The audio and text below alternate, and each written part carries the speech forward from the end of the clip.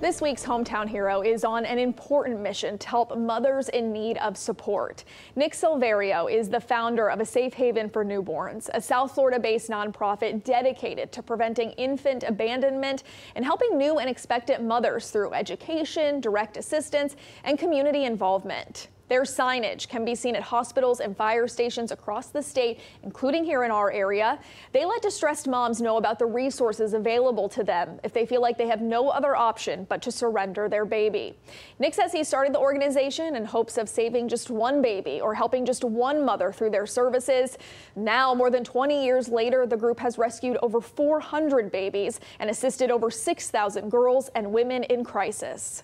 Basically, in a perfect world, there would not be a need for an organization such as a safe haven for newborns. But our world is far from perfect. And all we can do is make it a better place to live. We can't help every uh, mom and save every baby, but we can do as much as possible and, and to make a difference. And we will never, never stop trying. Most recently, the nonprofit developed a community service app to reach the younger generation. The goal is to educate high school and college students about their life-saving program while also allowing them to earn their required community service hours through the completion of different projects. Nick says the hope is that they'll take what they learn from doing this work and help foster a more compassionate community.